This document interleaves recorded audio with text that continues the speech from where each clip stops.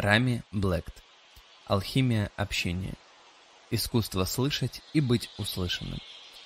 В этой удивительной книге автор с подкупающей открытостью, легкостью и мудростью делится своими знаниями и опытом. Учит забытому искусству слушать, слышать и быть услышанным.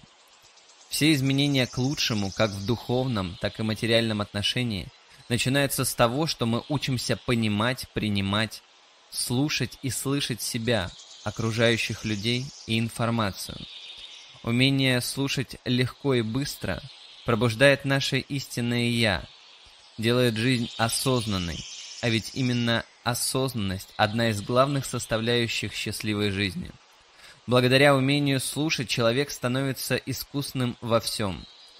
15 миллионеров, отвечая на вопрос, благодаря чему они достигли успеха, поставили на первое место умение слушать.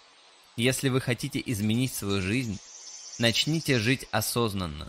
Научитесь слушать себя, свою интуицию.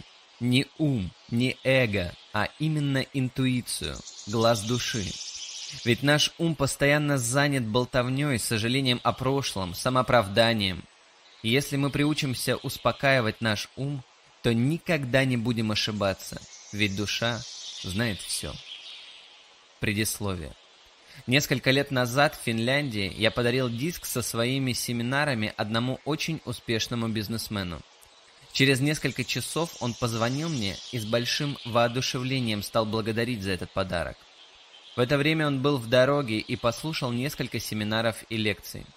Особенно он благодарил за семинар, на основе которого написана эта книга. Говорил, что его нужно слушать всем. Кстати, несколько человек мне писали, что эти знания нужно включить в обязательную программу, преподаваемую в школах и институтах. Что если бы он знал все это раньше, то не совершил бы ряд ошибок в бизнесе и личной жизни. Мне было важно и приятно услышать это именно от него, человека высокой внутренней и внешней культуры, образованного, имеющего богатый опыт общения с мастерами – также он сказал, что планирует дать эти знания всем своим топ-менеджерам и руководителям департаментов и филиалов. я вспомнил то время, когда сам загорелся этими знаниями. Это было около 12 лет назад, в 1997 году. Именно тогда я прочитал одну интересную и познавательную книгу «Забытое искусство слушать», Мэдалин Брэклин Аллен. Если вас заинтересует эта тема, то в первую очередь я бы рекомендовал вам прочитать именно эту книгу. Хотя, к сожалению, она давно не переиздавалась.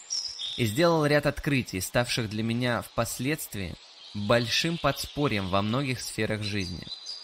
Позже я прочел много книг и статей западных психологов на эту тему.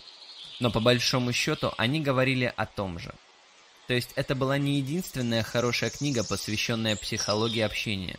И я не обратил бы на нее столь пристального внимания, если бы не увидел, как эти знания работают на практике, в моей жизни, в жизни моих друзей и знакомых, а это для меня очень важный показатель.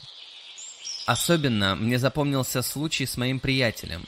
Он с отличием окончил школу и высшее военное училище – был довольно практичным человеком, но, к сожалению, имел серьезные проблемы по части коммуникации с окружающими, и в личной жизни его преследовали неудачи. И вдруг я заметил, что во всех сферах его жизни происходят значительные изменения к лучшему. А его способность вести переговоры, общаться с другими людьми начала вызывать уважение. Я отметил для себя, что он очень четко следует основным указаниям, данным в этой книге. Сейчас он счастливо живет со своей семьей в Австралии. В последующие годы я прочел много книг и статей об эффективном общении, прослушал много семинаров по этой теме и всегда старался практиковать эти знания. Что-то из прочитанного было отброшено мной из-за непрактичности. Что-то добавлено на основе жизненного опыта. И в результате я разработал свой собственный тренинг по данной теме, получив за него много теплых отзывов. В нем я попытался совместить современные психологические наработки и восточную мудрость. Ведь знание этой темы является необходимым условием для быстрого прогресса в духовной и материальной сфере жизни. Эта небольшая книга является несколько сокращенной и доработанной печатной версией этого тренинга. В ней я постарался сохранить разговорный стиль. Надеюсь, он будет понятен русскоязычным читателям. Очень надеюсь, что эти знания будут полезны и интересны вам и вашим близким. С любовью, Рами.